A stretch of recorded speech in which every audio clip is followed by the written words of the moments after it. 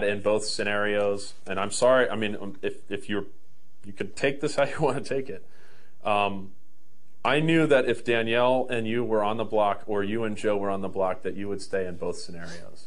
Let me, let me ask you a question, and this is like the most pertinent question to me. sure, What makes you think that I can ever feel like I can trust you after this? because I gave you my word on my vote. I gave you my word. with- Everybody jumped ship when they knew it was six to four and there was no chance. That's I never jumped Mike, ship. I never Mike changed. even jumped ship. It was nine to Mike one. You wasn't guys part left of it. Cal out Nick- to dry. Nick and myself had always stayed with Joe the whole time. You can ask Nick that; he'll back it up. I talked to Jen the night before. I told her, I told her, I go, the vote is going to be eight to two or nine to one.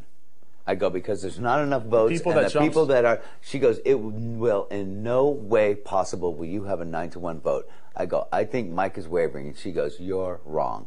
So Mike, Mike was. and Jen, no, Mike and Jen jumped ship. Nick and I always stayed with taking Jen had Joe no out. vote. I'm sorry, then Kail, um, whatever. I don't know how it. I, I can't. Kel took the fall for all of you guys, and No, she no, no, was pissed, and that's why she rolled over on everybody.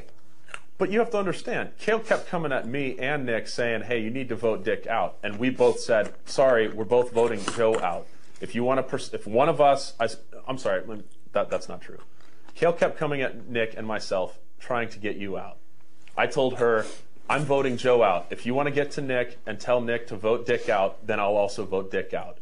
That was how it was set up. I put all my beans on Nick because Nick said, dude, we got to get Joe out. I said, dude, I totally agree. The bigger of both evils in the seat at that time was Joe. I wanted him out more than anything in Well, because he had spread life. bullshit about you. Not even. No, when we, we well, I were mean, sitting outside, he I didn't spread even bullshit care. about everybody. I didn't even care about that. I mean, that's a contributing factor, but overall, he just loved to rip open people's wounds in front of other people. At least you had the dignity to come at like Kail or which I wasn't there for, or Jen, and be like, "This is bullshit." Now, if you wanted to come at me and do that, that's fine. You and I can duke it out all you want. I wasn't hundred percent, but no, and no, no, I not, didn't go at Cal until I knew for a fact, and I wasn't going to go whispering in little groups like a big secret. No. I got her, and let's and do the Cal show, am. bitch. And that's how I am. But if I have somebody like Joe coming in here and just ripping open those fucking wounds while like you and I are having are duking it out, I don't appreciate that one bit. and Joe's a douchebag. That I'm is glad not- he's gone. That is that is the sole reason And why Joe- he needed to go. Listen, Joe, that motherfucker that I put my neck out, which I didn't have to at all, because what the fuck do I care if I'm up against you or if I'm up against Joe? What the fuck do I care? sure. Honestly, dude, I would have stayed in either case. And honestly, I knew you weren't going up, and I kept saying, this is such a long shot, it's such a long shot. I can keep my hands clean. I laid the groundwork, and I let everybody else fucking do the whispering in the ear. Sure. And what did Joe do? When it didn't happen, or Joe went on the block, Joe went and fucking told everybody that it was all me, and he's trying to throw me under the bus. That motherfucker. But I didn't care. After I My exposed vote was already dealer. made. But you understand what I'm saying about Joe. So anybody that was on the fence, including Jameka or eh, or anybody else that was wavering even a bit, Sure. that is what I told them.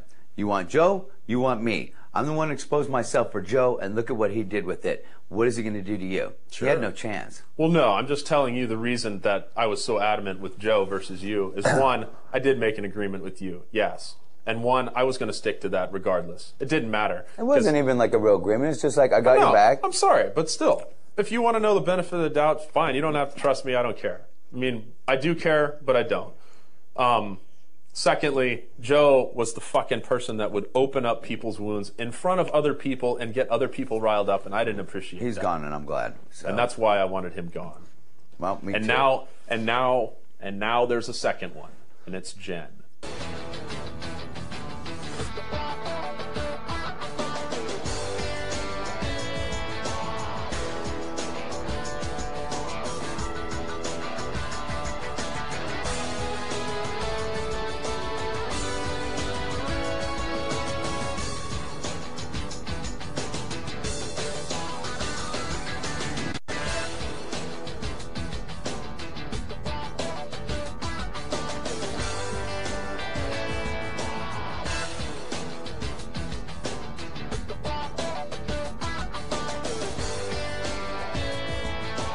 I'm a little bit more First stable of- than that, don't on. you think? I Hold can't on. believe that fucking. First of all, that's not.